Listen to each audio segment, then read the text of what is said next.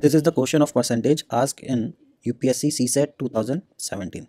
This is a good questions and nowadays UPSC ask these kind of questions because here it's hard to find the direct answer through given data, right?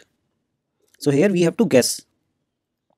So the question is P is equal to 40% of A plus 65% of B and Q is given 50% of A plus 50% of B where A is greater than B. They have given like A is greater than B. We know only this and we have two equations.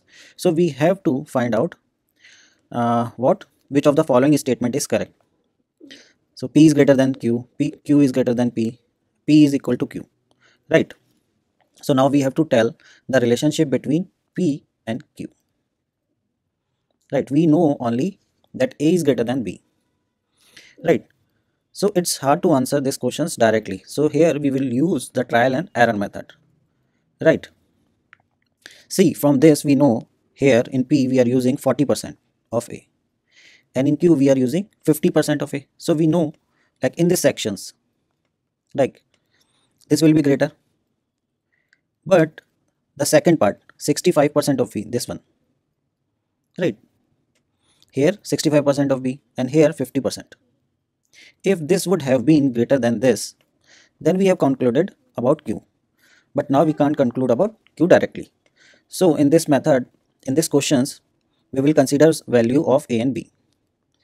Right. So what value generally we consider?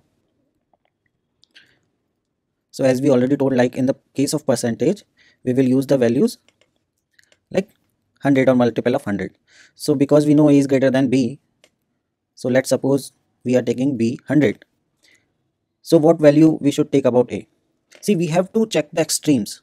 We have to check the extremes means like uh, uh, we know we have considered the value of b as 100 so let's take the a's value like 110 in first case and keep uh, b value same and take the value of a 200 so here difference is less here difference is large.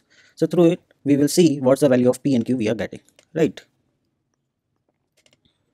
So what the p value we will get from this? So p will be 40% of a. The 40% of this will be 44 plus 65% of p. So this will be 65 so the total will, will be 109 and what will be the value of q? Q will be 50% of a. So this will be 55 right?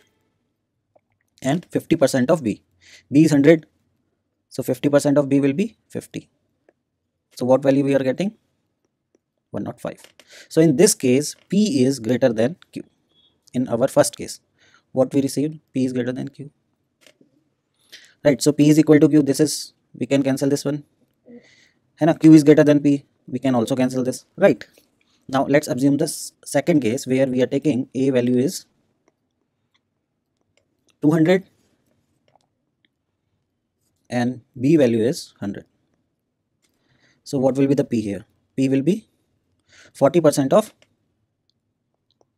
40% of 200, right?